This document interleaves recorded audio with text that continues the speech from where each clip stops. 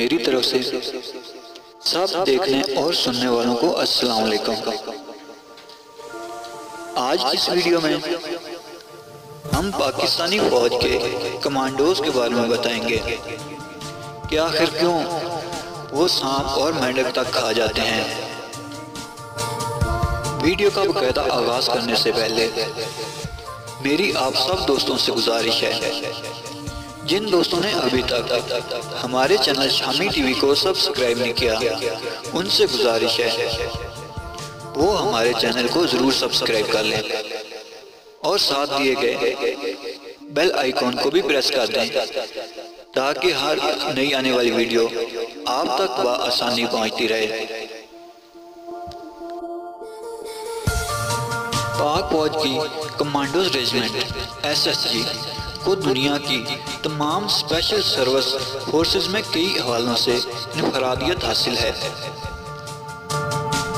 تربیت کے انتہائی کٹھن اور جان لیوا مراحل سے گزرنے کے بعد کمانڈوز کی وردی اور بیج لگانے والے فوجیوں کو سنگل مین آرمی اور جدید خود کار مشین کا درجہ حاصل کرنا پڑتا ہے چراٹ میں پاکستانی کمانڈوز کے سپائی سے افسر تک ہر ایک کو یکساں تربیت حاصل کرنا پڑتی ہے۔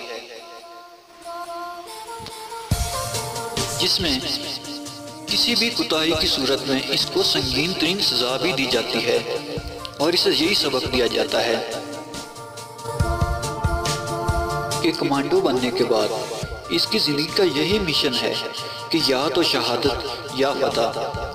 ایس ایس جی کمانڈوز کے نزدیک ناکامی یا شکست نام کیا کوئی لفظ نہیں ہے اور یہی انفرادیت اس کو اقوام عالم کی کمانڈوز فورسز میں نمائیاں کرتی ہے۔ ایس ایس جی کمانڈوز کو تربیت کے دوران جہاں ہر طرح کے مشکل حالات کا سامنا کرتے ہوئے سردیوں میں سرد پانیوں میں چوبیس چوبیس گھنٹے تک رہنا پڑتا ہے۔ وہاں ابلتے ہوئے پانیوں میں بھی اس کو موسم کی شدت کا سامنے کرنے کا عادی بنایا جاتا ہے۔ کسی آپریشن کے دوران جب اسے بھوک کو پیاس کا سامنا کرنا پڑے، تو وہ زہریلے جانوروں کو دانتوں سے کاٹ کر بھی کھا جاتے ہیں اور ان کا خون بھی بی جاتے ہیں۔ اس کی تربیت کمانڈوز کی تربیت کا چراٹ میں ایس ایس جی کمانڈوز کو خاص طور پر دی جاتی ہے۔ انہیں تربیت کے دوران سانپ پکڑنے کا طریقہ بھی سکھایا جاتا ہے۔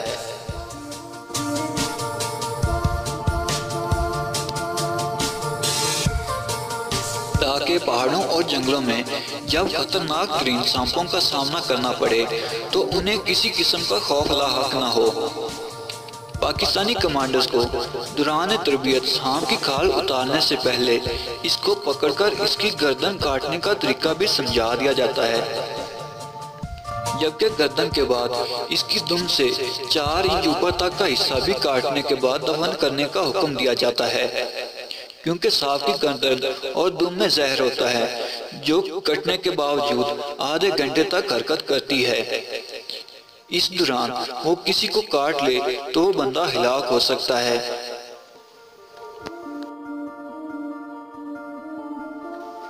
سام کی کھال اتار کر اس کے اندر سے بڑی آنت نکال کر سام کے گوشت کو کچا اور پکا کر بھی کھانے کا طریقہ بتایا جاتا ہے۔